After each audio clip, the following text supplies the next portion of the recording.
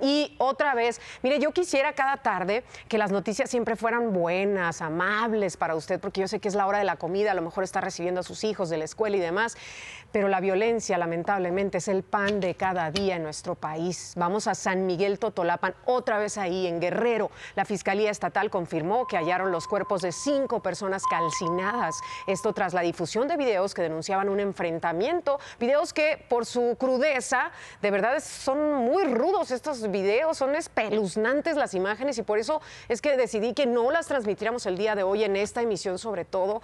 Al respecto se inició, le cuento, una carpeta de investigación ya por el homicidio calificado para esclarecer estos hechos y dar certeza jurídica. El enfrentamiento habría sido entre presuntos integrantes de los Tlacos y la familia michoacana.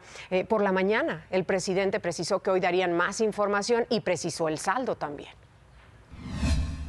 Hay ya un operativo en la región desde ayer. Se presume, falta tener toda la información, que fue un enfrentamiento entre bandas de la delincuencia, hasta ahora comprobados 12 muertos.